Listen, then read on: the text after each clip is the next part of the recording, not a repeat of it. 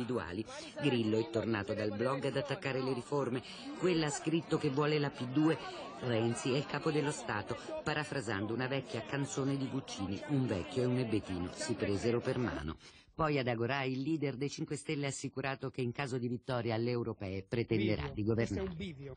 25 maggio è un bivio. O noi o loro. Lascia lei- perdere. Se il Movimento 5 Stelle vince le europee, lei va da Napolitano e chiede di Assolut- poter avere il governo in mano. Assolutamente sì.